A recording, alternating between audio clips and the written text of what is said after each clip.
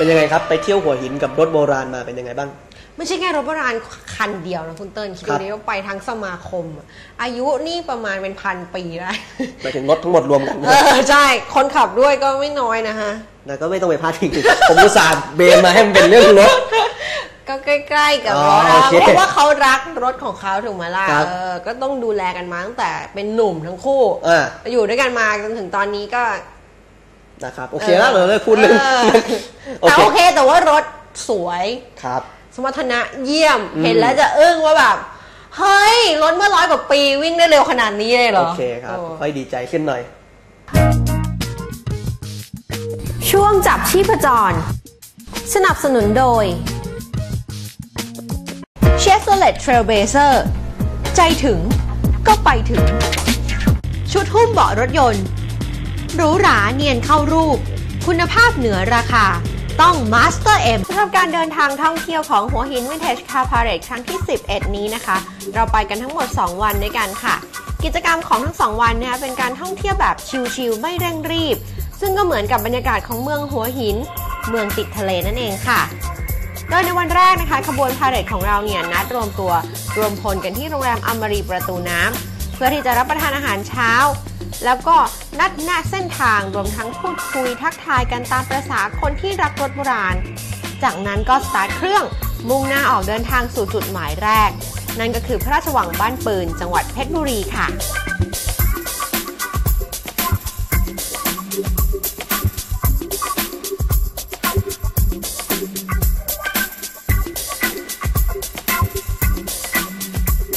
และที่แห่งนี้นะคะ พระราชวังบ้านปืน พาเหรดของเราเนี่ยก็ได้รับการต้อนรับเป็นอย่างดี จากรองผู้บัญชาการมณฑลทหารบกที่ 15พันเอกชมพล อมรดิตรวมด้วยหอการค้าจังหวัดเพชรบุรี และกาชาติจังหวัดเพชรบุรีค่ะ งานนี้นะคะนอกจากจะได้ชื่นชมความสวยงามของพระราชวังบ้านปืนแล้ว ก็ยังได้ทานขนมตาลแสนอร่อย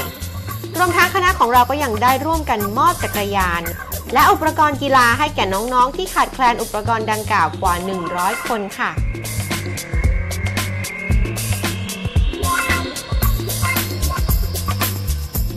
ค่เริ่มต้นนะคะ เช็คอินที่แรกก็สนุกแล้ว ถ้าอย่างนั้นเราไปต่อกันดีกว่าค่ะ จุดเช็คอินที่ 2 ของเราในวันนี้นะคะ นั่นก็คือร้านอาหารนันทวัน จังหวัดเพชรบุรี ร้านอาหารและขนมชื่อดัง ซึ่งตักเชื่อว่าคุณผู้ชมก็คงคุ้นเคยเป็นอย่างดีอยู่แล้วค่ะ และก็แน่นอนนะคะว่าที่นี่เนี่ยทำให้ท้องของเราอิ่มได้ด้วยของอร่อย พร้อมกับการแสดงของนักแสดงมืออาชีพค่ะ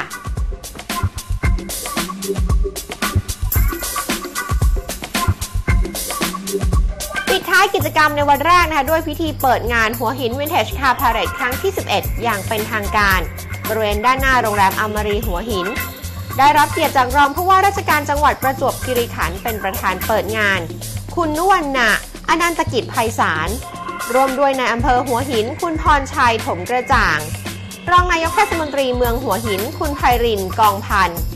และคุณคริสท็อปลีออนฮาร์ดผู้จัดการทั่วไปโรงแรมอมารีหัวหินค่ะ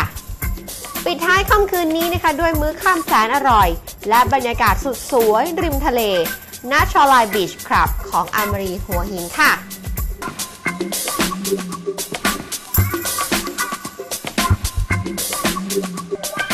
สำหรับกิจกรรมวันที่ 2 นะคะ มีกิจกรรมดีๆ รอพวกเราอยู่อีกเพียบเลย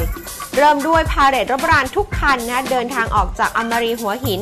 มุ่งหน้าไปยังโครงการพระราชดำริอ่างเก็บน้ำเขาเต่า เพื่อปล่อยพันธุ์ปลาลงอ่างเก็บน้ำซึ่งมีวิวธรรมชาติสวยสุดลูกหูลูกตาค่ะ ต่อจากนั้นคณะของเราก็เดินทางขึ้นไปบนถ้ำวัดเขาเต่า เพื่อไหว้พระแล้วก็ทำบุญ พร้อมชมวิวสวยๆด้านบนไปพร้อมๆกันด้วยค่ะ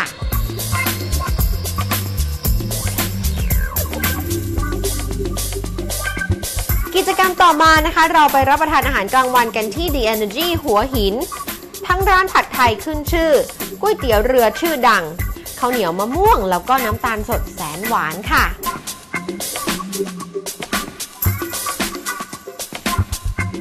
และก็ตามธรรมเนียมนะคะเพราะว่าขบวนพาเหรดของเราเนี่ยจะต้องขับรถจากที่โรงแรมอามรีหัวหินค่ะ เพื่อมุ่งหน้าเข้าสู่อำเภอเมืองหัวหินนะคะ ไปโชว์ตัวนิดนึงค่ะ แสดงความสวยงามนะคะ แล้วก็ความคลาสสิกพร้อมเจ้าของรถค่ะเขาก็ยังแต่งตัวให้สมกับรถของเขาด้วยนะคะ เรียกว่าแต่งกายให้เข้ากับรถของตัวเอง เพื่อที่จะพาเรดให้ชาวเมืองหัวหินรวมทั้งนักท่องเที่ยวได้ชมกันค่ะ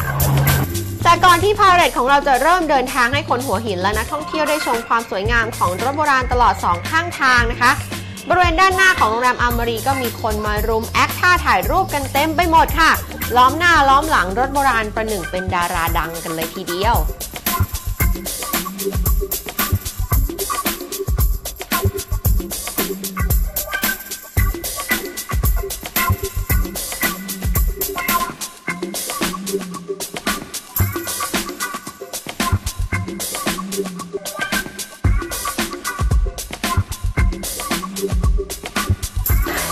ปิดท้ายกันด้วย gala dinner ค่ะเดี๋ยวเราจะนั่ง sit down dinner กันแบบหรูๆฟินๆกันในห้องนี้นะคะเดี๋ยวตาจะเก็บภาพบรรยากาศสวยๆนะคะบนเวทีรวมทั้งอาหารจานอร่อยมาฝากคุณผู้ชมค่ะเอาพบกันได้ใหม่โอกาสหน้า วันนี้ลาไปก่อนสวัสดีค่ะ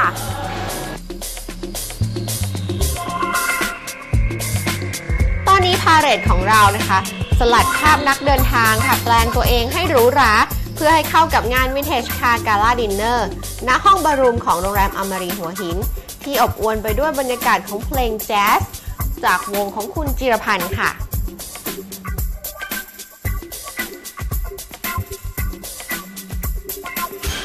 และสำหรับงานนี้นะคะก็ต้องขอขอบคุณสปอนเซอร์ใจดีทั้งหลาย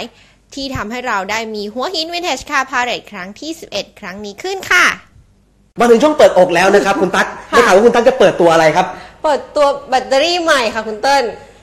ไม่ได้ไม่ได้เปิดตัวแบบที่คุณคิดอย่างนั้นเอาเหรอเออ ยังไม่เปิดเพราะยังยังไม่มียังไม่มี เปิดตัวแบตเตอรี่รุ่นใหม่นะคะของ Bosch เองเขาบอกว่าเป็นแบตเตอรี่ที่สร้างขึ้นมาเพื่อรถ Start Stop โดยเฉพาะ อืมเออทำไมมันต้องมีอย่างนั้นเลยเหรอะใช้แบตทั่วๆไปด้วยกันไม่ได้หรือไง มันต้องเปลืองเงินขนาดนั้นเลยหรือเปล่า เพราะอะไรไปชมกันเลยค่ะ ช่วงเปิดอก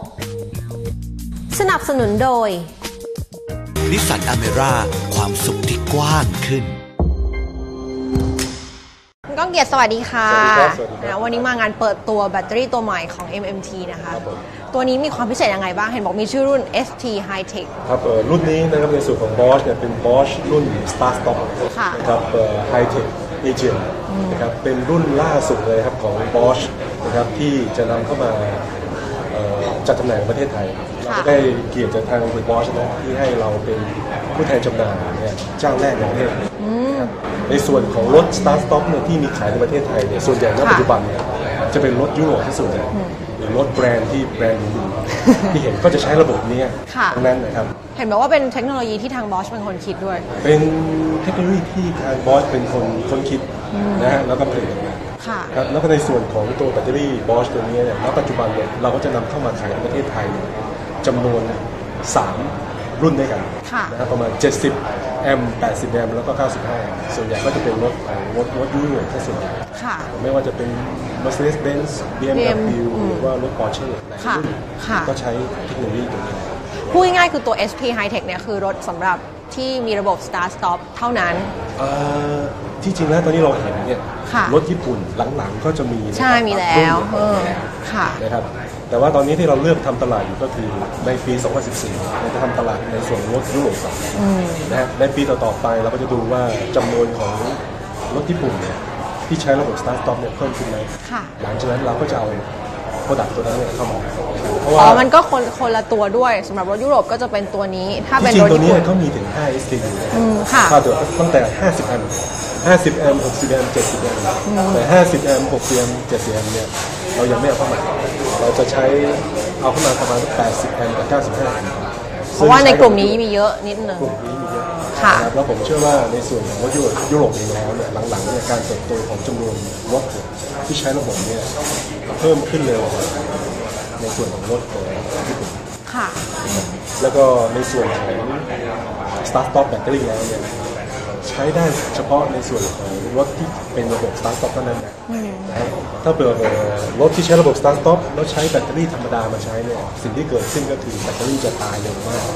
อ๋อคือเสียเร็วมากจะหมดอายุอย่างรวดเร็ว จะหมดเร็วมากนะเพราะว่าในส่วนของรถใช้ระบบ Start Stop เนี่ย